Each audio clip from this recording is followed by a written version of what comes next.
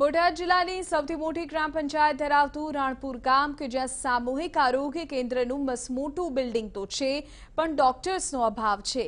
આ અંગે સ્થાનિકોએ અનેકવાર રજૂઆત કરી, છતાં કોઈ પગલાં લેવામાં આવ્યા નથી.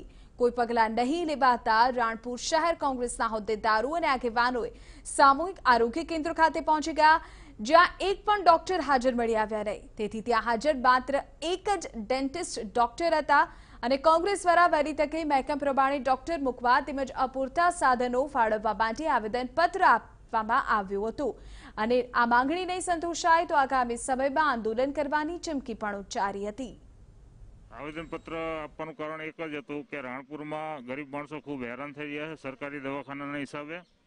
ડૉક્ટરો મોટા ભાગે હોતા નથી અને ડૉક્ટરો હોય છે, એ કંઈ કામના નથી હોતા, એવું કહેવી તો પણ એ વધારે પડતું નથી.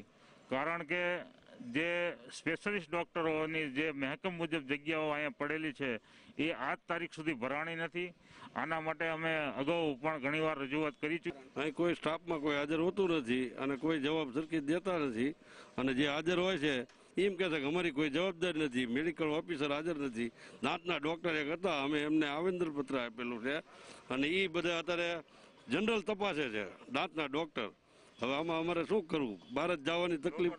હા આરોગ્ય આરોગ્ય માટે બધાને બહાર જ અહીંથી ત્રીસ કિલોમીટર દૂર જવું પડે છે.